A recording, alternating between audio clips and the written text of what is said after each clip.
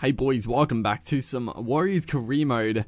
Uh, but in this game, we're actually going to be playing our first Origin match.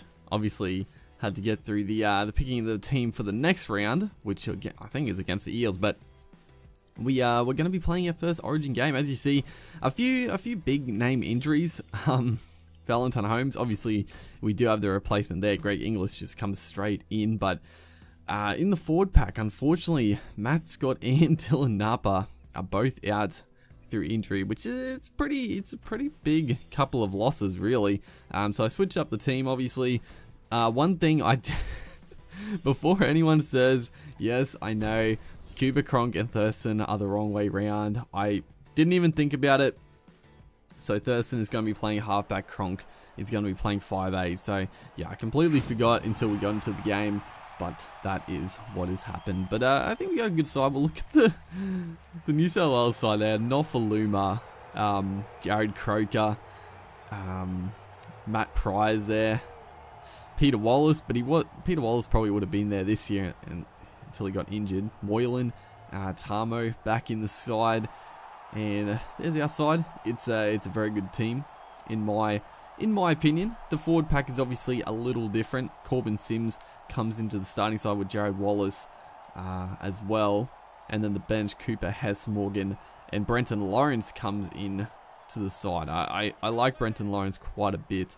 And obviously with Scott, uh, Scott and Napa out, we needed a a few uh, a few new guys. Could have um you know there was also like Ethan Lowe. Um,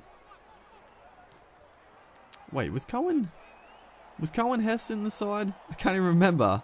I don't think was Coen Hess even in the squad? I'm so confused now because Coen Hess probably should have been there, but whatever. I, I don't know. I don't know where Coen Hess was. Maybe he was was he on the bench? I can't even remember. But we we're on the attack early on. I'm not even going to worry about that.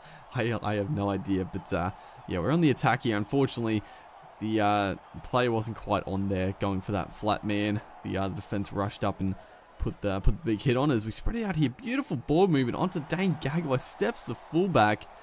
And he's going to streak away here and score a beautiful try to start proceedings. This was one of the nicest tries I've scored. And you know, th this sort of try right here, it was so easy to score in Rugby League Live 3 that it didn't really ever feel very, you know, it was so easy to do. But in this game, actually like spreading it sideline to the sideline like that and actually getting your winger away, it's hard to do. And uh, Dane Gagai just finishing off beautifully. And also Cameron Smith is converting. Uh, during the game, I do switch uh, Thurston to the uh, to the kicker. So um yeah, that uh, that will that will definitely happen. Don't worry. I actually think I think Lachlan Coote's the fullback as well for the Blues, which is very strange. I think it is.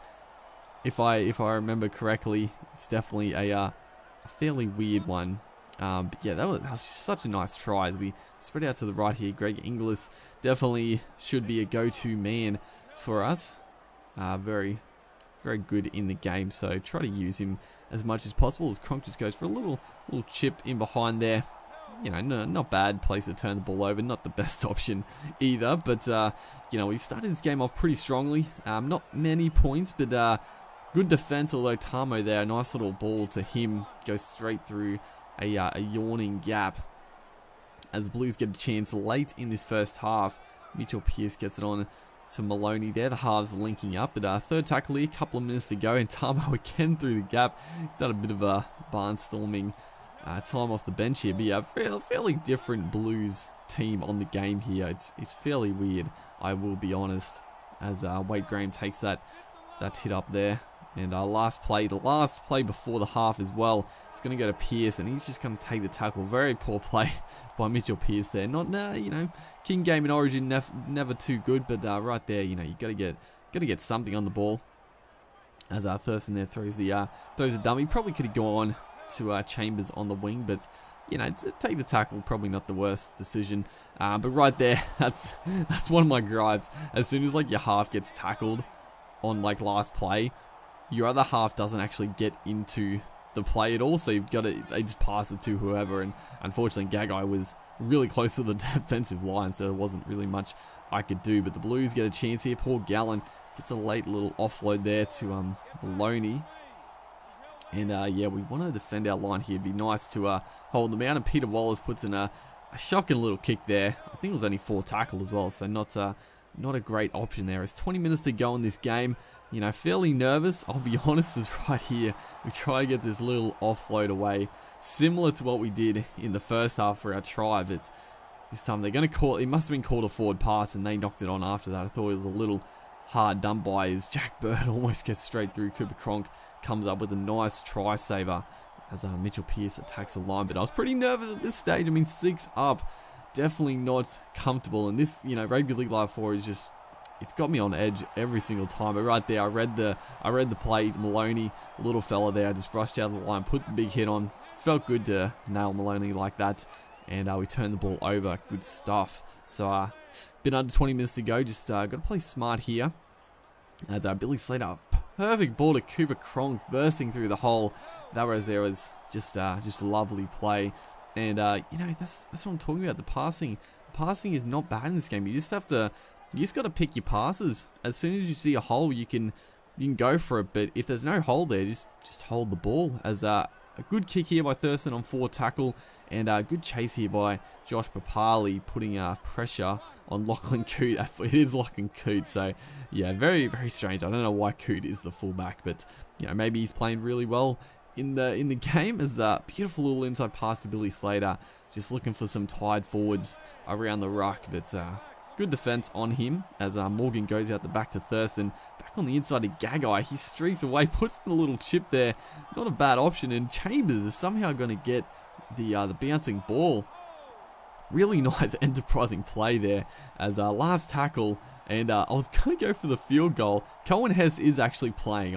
I don't know what I'm talking about. But we're going to score a nice try to just finish off the game here. I was going to go for the field goal.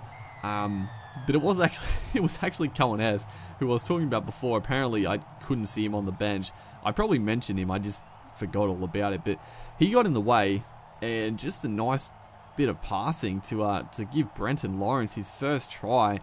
And just finishing the game off beautifully there. Played pretty well this game. Defense was outstanding by the boys, and the attack was looking pretty good. Obviously, the Blues good defensively as well. It's hard to crack them, but we uh, made some good plays and uh, got it going as a few a few passes there. Lawrence gets nailed, but uh, a good finish. Nice to finish with a try as well, so it's a bit of a bit of a lead. Hopefully, guys are enjoying this series. Make sure to like if you are, and I'll see you guys next time.